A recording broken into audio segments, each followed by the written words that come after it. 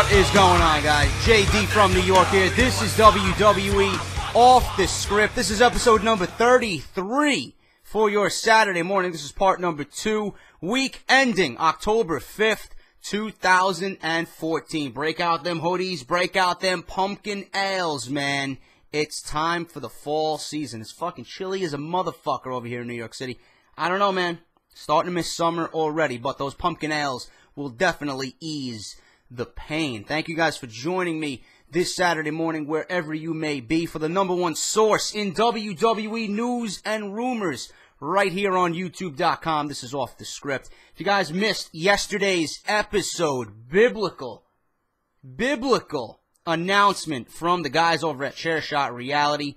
If you guys missed the announcement, it's in the opening clip of part one. Go and check that out immediately. If you're not subscribed to CSR's YouTube, link is down below. If you don't know who CSR or the guys over at Chairshot Reality, if you don't know who they are, shame on you. WrestleZone.com at Chairshot Reality. Link is down below. The number one talk show for professional wrestling on the internet. If you guys want the reality of the wrestling business from three great minds, those are the men to deliver it to you. Go and check those guys out. Show them some love. JD from NY sent you over there, all right?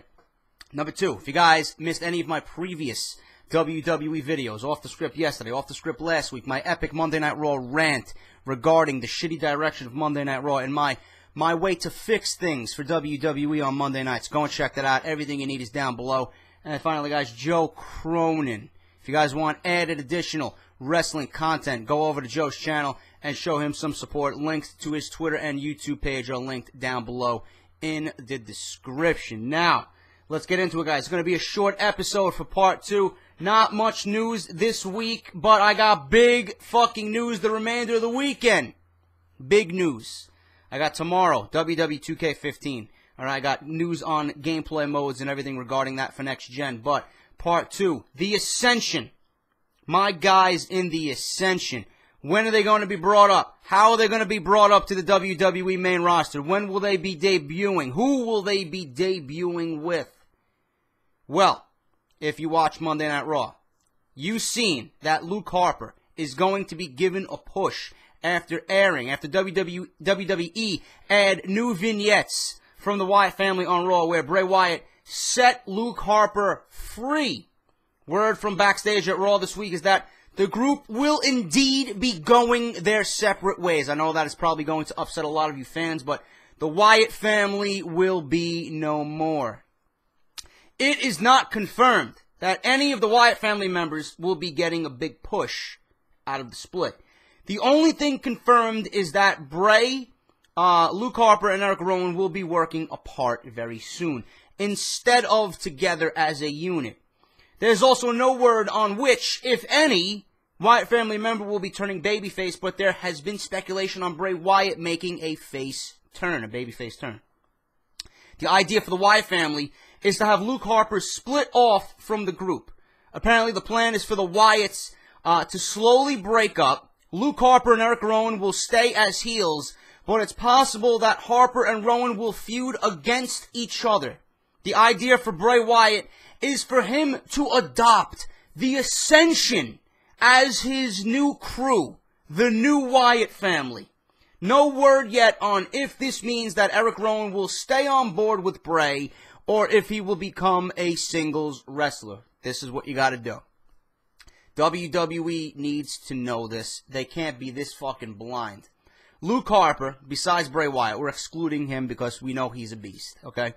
Out of the two, if you're going to compare Luke Harper and Eric Rowan, Luke Harper has the most talent. Justin LaBar speaks highly of Luke Harper, okay? I see a lot, uh, you know, a lot of talent and potential in Luke Harper as a singles guy if they mold him correctly. He could be a monster heel.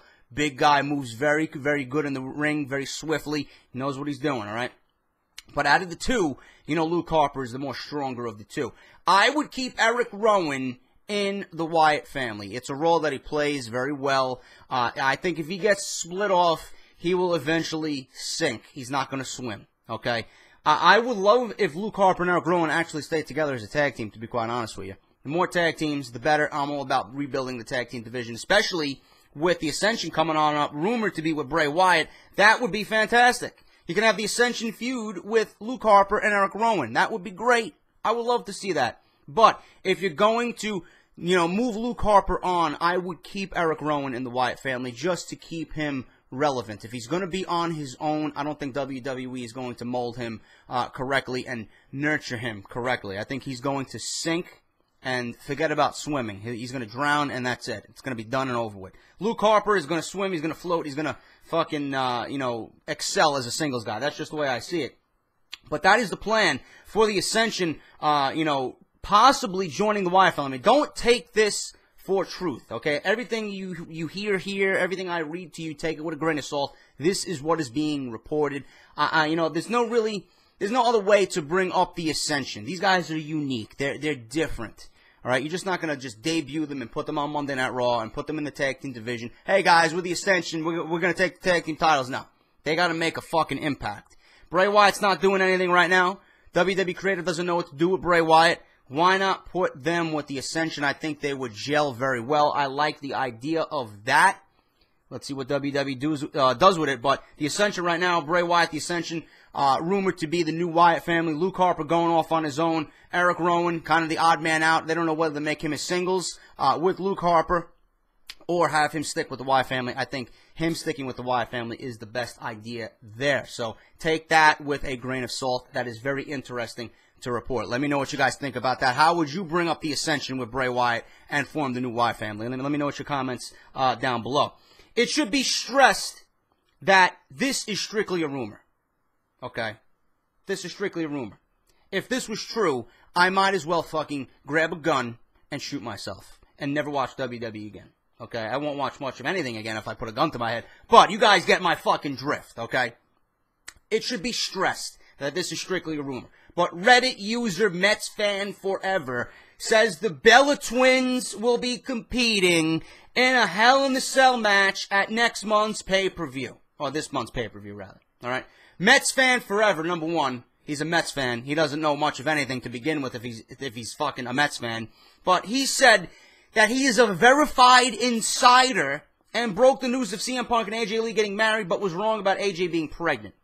He did break the news of JTG's WWE release before WWE actually announced it and revealed several show scripts in the past.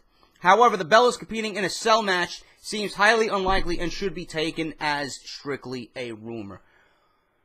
Please, for the love of God, do not put the Bellas inside a Hell in a Cell. If that is the case, you should abolish and vanquish the entire pay-per-view after this year because nobody will ever look at Hell in a Cell the same ever again. It will be a fucking joke. It will be a laughing stock. It will be the kid in the back of the fucking class who's a fucking geek, pimples on his face, virgin, gets no ass, is a loner, sits alone at the lunch table. That's what fucking Hell in the Cell is going to be, man. Exactly. Please, just envision that. Just envision that fucking that fucking degenerate sitting in the back of the class. He's got no friends. He's got fucking pimples all over his face. Can't get a girl to fucking look at him. That's what Hell in the Cell is gonna be, man. Seriously. If the Bella twins are inside Hell in the Cell, nobody on this fucking planet will take Hell in the Cell seriously again. What are you gonna? What are you gonna have? Bellas climbing the fucking the, the Hell in the Cell? You're gonna have them bleed inside Hell in the Cell? Hell in the Cell is for men. Hell in the Cell is for blow-offs. Hell in the Cell is where the fucking men separate themselves from the rest of fucking humanity, man. That's the fucking match Undertaker and Mankind built. Shawn Michaels built his fucking, have some of his legacy off this shit. Undertaker built most of his fucking, you know, Undertaker built this fucking match, man. Foley made a fucking legacy off this match. You're gonna put the Bella Twins inside Hell in a Cell for what? For five minutes? What's going to happen in five minutes inside a Hell in a Cell that can't happen in the fucking back in the locker room on WWE TV? I don't understand. Absolutely fucking ridiculous idea. If WWE does this in any way, shape, or form inside a Hell in a Cell, they should be put out of business. They should not even fucking have nobody watching them. Plain and simple. So please, please, for the love of God, I hope this does not happen. All right. Moving on. It's only a rumor. Just take it with a grain of salt. WWE issued the following in regards to the Big Show pulling down the Russian flag in the segment with Rusev and Lana on this week's Raw. We at the WWE would like to apologize to the Russian people for the incident on Monday Night Raw that could have been constructed uh, or construed as disrespectful to their nation's flag. Oh, cry me a fucking river. You, you didn't mind it when you were putting it in the script, right? So why do it? End this fucking bullshit with, uh, uh, you know, you have to have an American figure fighting the Russian fucking terrorists. Come on, man. The guy who hates America it's over and done with. Just give Rusev the United States title and build him up from there, please. Enough of this fucking bullshit. Enough of the big show. Get him off my TV. He's a waste of fucking roster space. He does nothing to enhance the product. He puts me to sleep in every segment that he fucking wrestles in. Nobody wants to see him on pay-per-view. Nobody wants to see him against Rusev because he's gonna fucking lose regardless. It's too predictable. It's fucking boring. Just get him off my TV. That's it. You don't need him. You don't need him for anything. Put him, with, put him with Hornswoggle in a backstage fucking segment for five minutes. I don't give a fuck. Get him off my TV. All right, whatever. Put him on main event. Put him on Superstars. Put him on Saturday Morning Slam. I don't give a fuck. Just get him off my TV on Mondays. That's all I care about. That's all I want. Just get him off my TV. Done. Finally, to end this short part of part two, I'm in some fucking mood right now, folks. I got a lot of energy. Drank a couple of beers. I'm good to go. All right. But finally, it is expected that Finn Balor, Balor, Balor, however, however the fuck you want to announce him, um, uh, you know, this is uh, this is Prince Devitt. Okay, by the way, for you guys don't know, Finn Balor and Hideo Itami, aka Kenta, will be brought up to WWE's main roster before most of the other NXT talents that are currently in developmental. While Itami came from W, or came to WWE uh, because he really wanted to do it, uh, Balor was not brought in to spend a few years in developmental. Both men will have a run in NXT because all talents do, but we could see them on the main roster before 90% of the other NXT talents that will be getting called up. So, Prince Devitt, aka Finn Balor, and Hideo Itami, aka Kenta, they will be brought up uh, faster than everyone else down there simply because they have the most experience out of anybody else. They don't need they don't need training. They don't need honing of the skills. Itami could use some um, you know some tips on you know speaking the language a little bit better. I have not seen uh, Finn Balor uh, yet, but um, I'm very excited to see both of these guys on TV. I got to start watching NXT. I missed the last couple of weeks um, since take uh, take over, so I got to watch up and catch up and see what's going on. I, I think Kenta made his debut. Not sure against who yet. If you guys want to fill me in and spoil it for me, please do so down below in the comments. But um, these guys are going to be brought up quicker than everybody else, quicker than uh, Kevin Steen, quicker than Tyler Breeze, Adrian Neville, Sami Zayn. Even though all these guys deserve a main roster spot, you, you got to bring these guys up to the main roster when it makes sense. You just can't bring them up and just you know have them fucking go out on TV and there's no storyline for them. There's no there's no creative behind uh, their character. You, you got to bring these guys up with a reason. All right, that's what Trip. That's what Triple H wants to do. He wants to bring these guys up with a reason. We know these guys can wrestle. We know these guys are better than anything that's on TV right now. I'm sure of it. But there has to be a reason for them to be there. So hopefully WWE can be creative and come up with something decent for us to watch and bring these guys up and have it make sense. That's all I hope for. That's all we can hope for. So Finn Balor, uh, Hideo Itami, aka Kenta, Prince Devitt, they're going to be brought up to the main roster quicker than everybody else because they got the most experience. Like I said, Kenta just needs uh, some English help and speaking the language a little bit better. So that's that's that, guys. But um, I'm gonna have news tomorrow on uh, WWE 2K15 My Career Mode reveal. I got the full details on that. So if you guys are interested in WWE 2K15, uh, tune into part three tomorrow on Off the Script. And I also got news on WWE payoffs. How are the wrestlers being paid now that the WWE Network is uh, holding their pay per views? How much are they getting paid uh, from actual pay per view revenue? Not good from what I'm reading. Uh, I got news on Santino Marella. He expects to be back on WWE TV soon. Please go away and never show your face again. And I got news on Kurt Angle. Where is he going to sign?